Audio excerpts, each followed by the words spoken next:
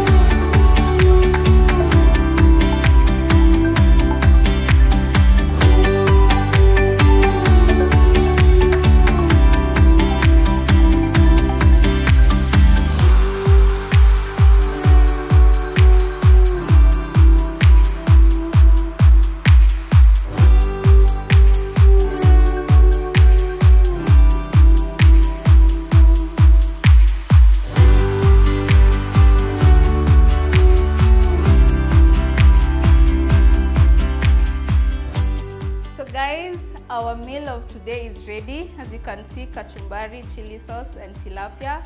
Perfect. You can serve it with a variety of accompaniments. That is ugali, matoke, fries, roast potatoes. Anything of your choice will just go perfect with our meal of today. Don't forget to subscribe to our channel, like and leave a comment below. I'll see you next time. Bye.